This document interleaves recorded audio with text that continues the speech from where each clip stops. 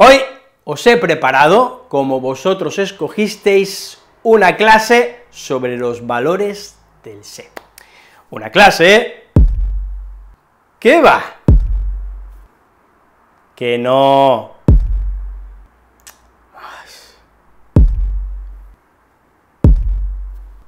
Eso es, porque vamos a ver una clase con el pronombre personal se cuando no es reflexivo. Hablar de los valores del se es moverse por un terreno movedizo. La línea que separa los diferentes valores, tales valores, no siempre está clara. Es por eso que hoy vamos a ver el se más sencillo, pronombre personal átono de tercera persona, no reflexivo. Vamos a hacer una cosa. Como quiero empezar primero por la etimología, le voy a decir a un amigo mío, que sabe mucho sobre este tema, que os lo explique.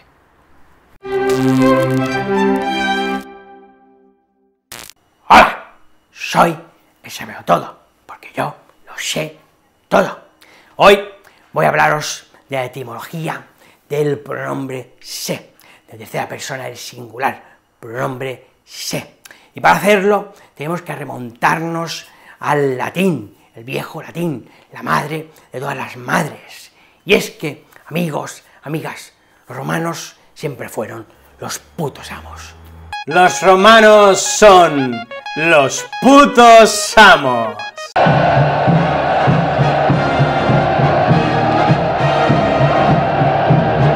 Los romanos son los putos amos. El origen de este sem se remonta al dativo latino, ili, que conjuntamente con el acusativo, el acusativo latino también, ilum, ilam, ilut, o ilos, ilas, eran todas las variantes, pues evolucionó al pronombre que hoy en día conocemos como se. Cabe destacar que en la Edad Media se decía, se decía en aquella época, se decía gelo. Se escribía así, pero se pronunciaba como cello. Ese sonido, esa consonante preparatal, fue evolucionando hasta convertirse en una S, de manera que finalmente pues acabó siendo ese se que hoy en día conocemos y decimos todos y todas las que hablamos español. Además, bueno, pues ya está, ya no hay más, además, ni más gaitas.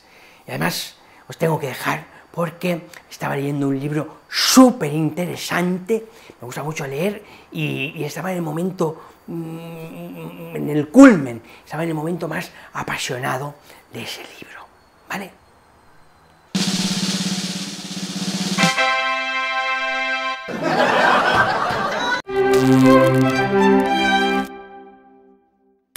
Muchas gracias, sábelo todo. ¿Cómo no te voy a querer? ¡Ay, qué majo que eres! Bueno, pues aquí tenéis la explicación, ¿eh? Espero, sábelo todo, que Dios te dé muchos años por delante para que sigas deleitándonos con tus explicaciones y tu sabiduría. Pero bueno, vamos a empezar ya con, con el se. Vamos a ver cuándo aparece este se. Bien, este se va a aparecer en forma de le o les, cuando tengamos le, singular, o les, plural, y vaya acompañado, conjuntamente lo haga este complemento indirecto que va a ser le o les, con el acusativo, que no es otro que el complemento directo lo, la, los, las. Veamos un ejemplo. Di un beso a Susana. Vamos a sustituir los diferentes complementos por los pronombres.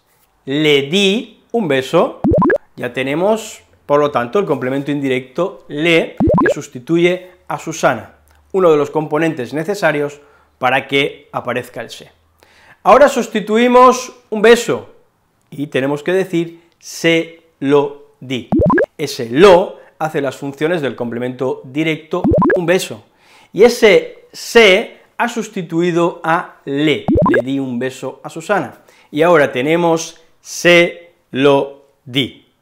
Bueno, pues este se, amigos, amigas, siempre hará la función de complemento indirecto. Hola Reyes, tengo una pregunta para ti. Soy Batman. Vaya, jamás lo hubiera dicho. Este sé, pronombre. ¿No hay alguna excepción en la que no sea complemento indirecto? Me alegro que me hagas esa pregunta, Batman. Porque resulta que sí. Puede ser complemento directo cuando tenemos el verbo llamar y un predicativo. Y ese complemento directo va a ser lo.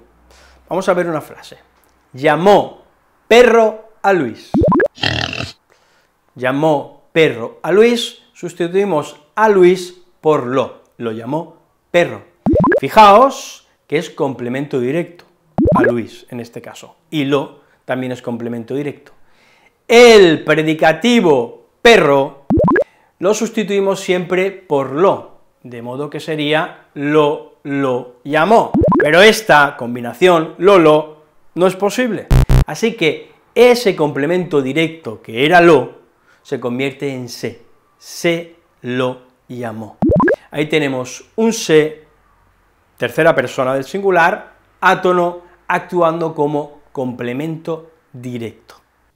Reyes, Dime, Batman. no sé qué es un predicativo. He de decir que estoy gratamente sorprendido, Batman, de ver cómo un superhéroe como tú no tiene ningún problema ni ningún complejo a la hora de manifestar sus dudas. Enhorabuena. Y recuerda, si tienes alguna duda, no tengas miedo de levantar la mano en clase. Batman también lo hace. Bien dicho. Bueno, pues mira, le explico el predicativo a Batman, y de paso, si alguno de vosotros no lo sabe o alguien no lo recuerda bien, pues se lo enseño o le refresco la memoria, ¿vale? Vamos a ver qué es un predicativo. El predicativo, el predicativo, el El predicativo acompaña al verbo y además nos va a decir una cualidad, un estado, una propiedad, o bien del sujeto o bien del complemento directo. Su madre salió dolorida del dentista. Dolorida es el predicativo, complemento predicativo. Acompaña al verbo, salió dolorida. Y además nos habla de un estado de la madre, que es el sujeto. Salió dolorida, su madre, sujeto. Pues blanco y en botella, predicativo. Volvamos al complemento indirecto. Vamos a ver algunos ejemplos. Después de todo, esta lección se centra y es importante que conozcamos este valor del se, el del complemento indirecto. Vamos a ver tres ejemplos. Les entregué el trabajo. Tenemos el pronombre les, complemento indirecto, sustituimos el trabajo por lo, se lo entregué. Ya veis que ese les ha pasado a ser un se, se lo entregué. Cuando me los encontré, les dije lo que sabía. Tenemos el les, les dije. Sustituimos lo que sabía, que es complemento directo, por lo, se lo dije. Les dije lo que sabía, se lo dije. Otro ejemplo más. Y este último, llaman cobarde a María. Y aquí en este caso tenemos que decir que se lo llaman. Fijaos que aquí tenemos un predicativo y tenemos el verbo llamar, y esta era la excepción de, de la que os hablé anteriormente.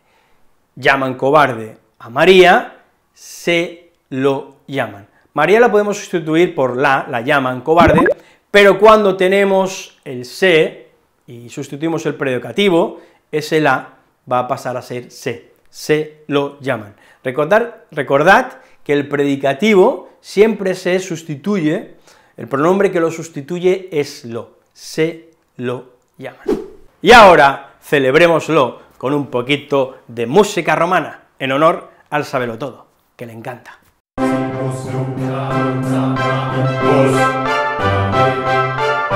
Eso no, eso no es música romana.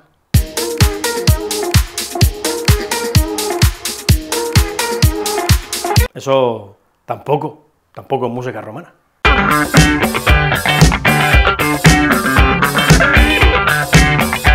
Es igual, es igual. ¡Qué guapo, tío! ¡Qué guapo, eh! ¡Buah! Ha salido Batman, además. ¿Has visto? ¿Has visto? ¿Que ha salido Batman?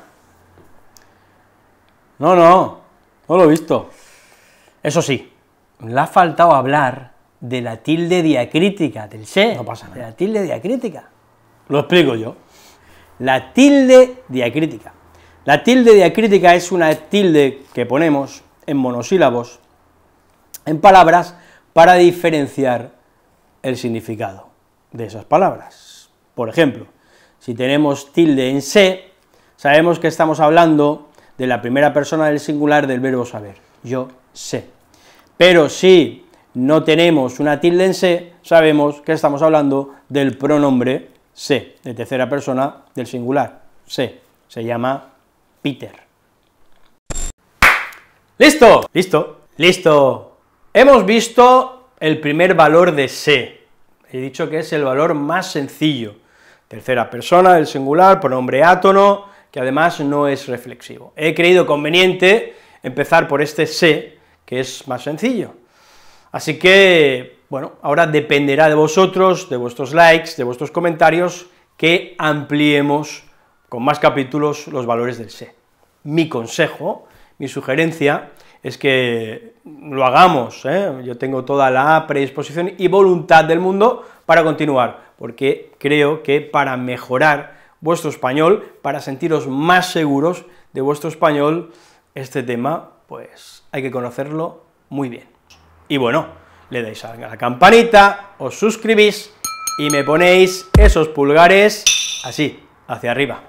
Nos vemos la semana que viene, cuidaos, os quiero, chao. Ahora me dispongo a detener a los criminales de Gotham City. No sé qué pasará esta noche, pero mi gramática está más preparada que nunca, gracias a Spanish from Spain.